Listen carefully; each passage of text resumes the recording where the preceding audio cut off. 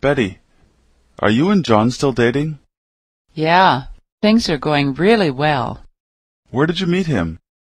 We were sitting at the same table, and he asked to borrow my pen. Wow, that's a nice story. I was telling Jim about it the other day. He thought it was pretty romantic. Do you two have plans for tonight? Yes, I think we're going to rent a movie. Have you seen anything good lately? I saw Spider-Man the other day. I've heard that's a really funny movie.